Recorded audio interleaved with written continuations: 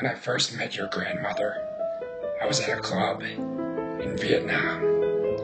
She was dancing the mariachi with some sailor, and I shouted, Hey!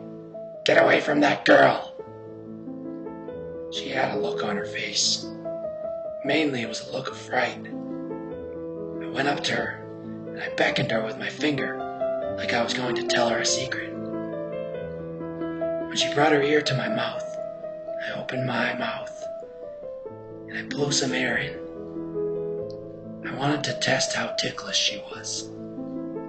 Fifty years later, let's just say she passed the test.